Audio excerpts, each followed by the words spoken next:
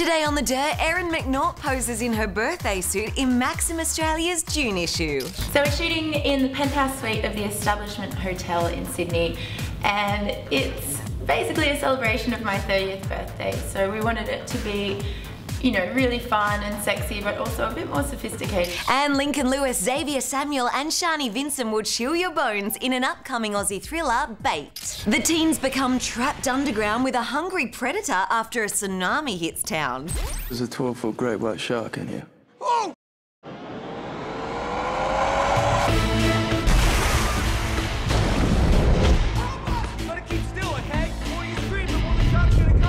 For more goss, head to thedirt.com.au.